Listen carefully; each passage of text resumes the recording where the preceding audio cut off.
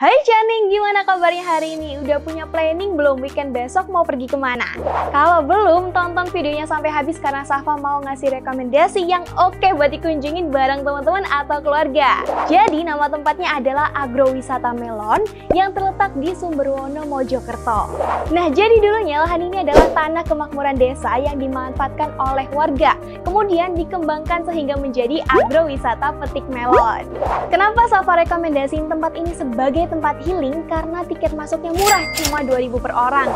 Nah, jadi melon ini ada dua jenis, Cak Ning. Yang pertama itu melon Amanda yang dibanderol harga 10.000 per kilonya. Dan satunya ini adalah prima donanya, yaitu golden melon yang dibanderol harga 15.000 per kilonya.